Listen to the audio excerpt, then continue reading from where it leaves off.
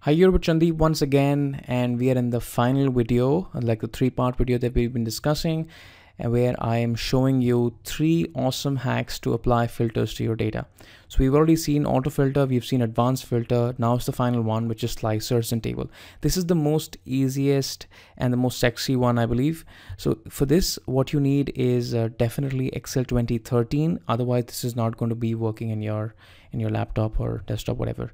So Excel 2013 and higher. The first thing that you do is apply uh, table structure to your data. So control T for Tango to apply a table structure, press enter. In case you want to name the table, name that table in the design tab. In case you don't, that's fine, no problem at all. Then what you do in, go in the design tab and insert a slicer on your table.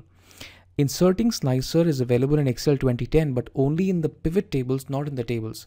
Inserting slicers in the table was made available in Excel 2013 and above right? So insert slicer. Let's say I want to insert a slicer on sales rep, on customer, and on the region. Three things. I'm just going to say okay. And I have nice looking slicers in front of me. What I can do is I can nicely arrange those slicers in front of me and I can start applying filters to my table, right? So I can just click on these three slicers and I nicely align them now let's say that I want to filter down to south, my data gets filtered to south. I want to filter down to good fly, I can have good fly and only Bruce. So my data gets filtered. And if in case you want to cancel those slicers, you can just um, do the uh, filter cancellation button on the top and the data gets unfiltered again, right? Uh, just in case, uh, let's say you want to apply a filter to only west. Now you can't unfilter the data from here. So you can't press control shift and L, which is the shortcut to apply and delete filters and then expect the filters to go off from here. So in case you've applied it through the slicer, the filter is also going to go off through the slicer, or maybe I think manually also works from here. So I think this is also going to work from here. So either this or this, but the shortcut control shift L is not going to work. All right, so those were the three hacks that I wanted to talk to you about, the three filter hacks. Uh, the first one, auto filter, advanced filter, and slicers, slicers and tables, right? There's there are two more things that I want to leave you with, which is how can you actually make a dashboard using slicers in tables, right? I'm just going to give you a link to that video and I've just actually made the slicer in about 15 minutes. That's about it.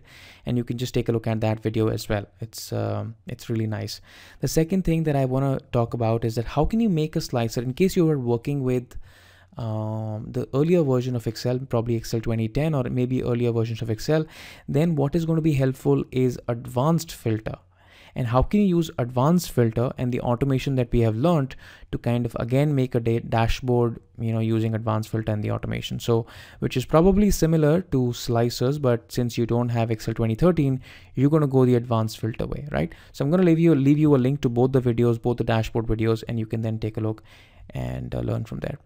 All right, thank you so much. In case you have any comments or questions about uh, any of these three techniques or in questions in general about filters or anything else, please do leave me a comment or maybe on the YouTube or on the on the blog itself, and I'll be more than happy to help you out.